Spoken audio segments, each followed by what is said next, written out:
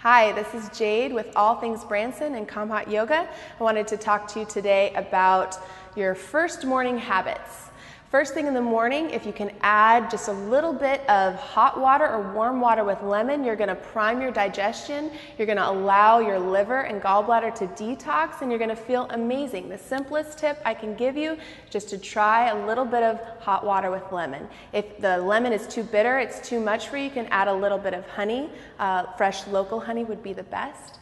Um, but just try it and see how you feel. Thanks.